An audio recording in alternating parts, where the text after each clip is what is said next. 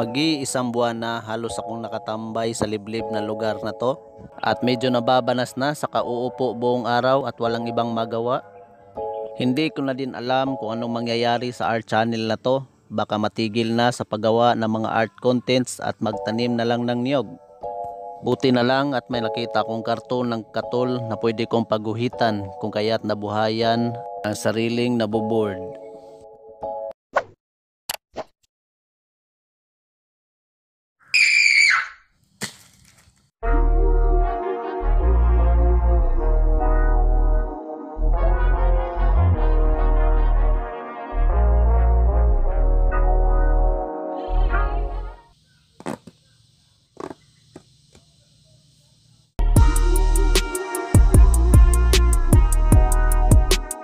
Pagkatapos kong ma-sketch, yung idodrawing ko gamit ang lapis ay sasapawan ko ng black ball pen ang mga outline para iwas sa erasure.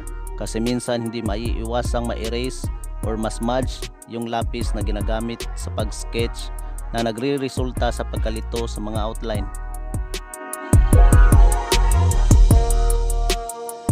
Nakakangalay din talaga ang mag-drawing kaya ako hindi ko tinatapos ng isang bagsakan lang. Ini-enjoy ko muna sarili ko sa ibang bagay.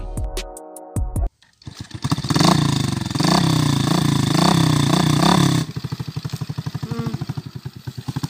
Mm. Mao ni iyahang kayutaan dere. Hi miss, pwede pagitanggal ang mask?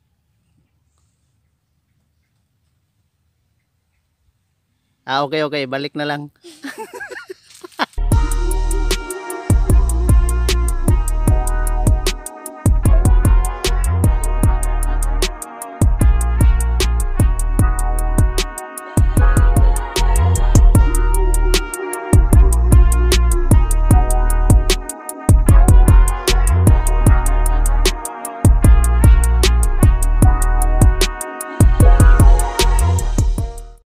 Ito yung tinatawag nila na na baka. kayamanan.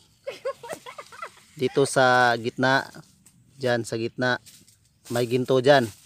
Kailangan mo lang is hukayin mo lang yan, hukayin at makikita mo ang ginto.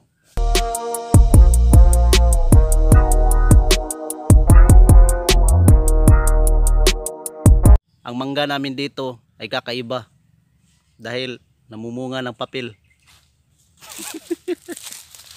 Tignan nyo.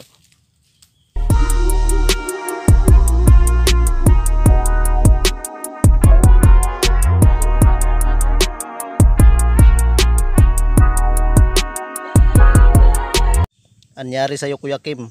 Ba't ka nagpa-butas ng ilong?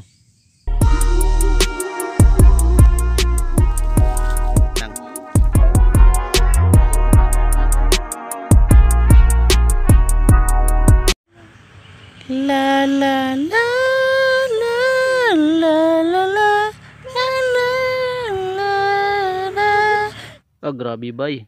Dili lang kay newspaper ang bunga, napoy ice water. Wow.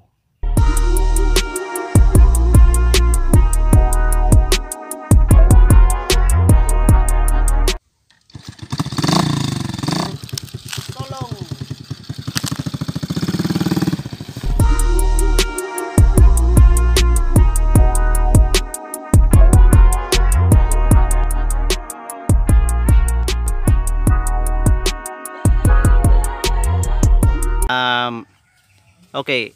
What what is your opinion about the Nas Daily scandal? Dili di man to kabaluan ng imuhang kuan. Nas dili sa mga ako ko katanaw nag-usa iyang mga kuan. Si Nas dili. Gigamit niyang tigol.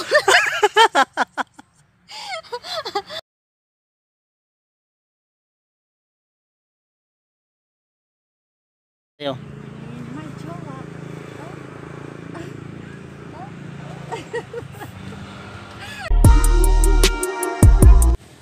Someone said that bakit di na lang magbisaya? Bakit magtagalog pa? Well, I got the advantage. Trilingual aking gamit. Para dami views.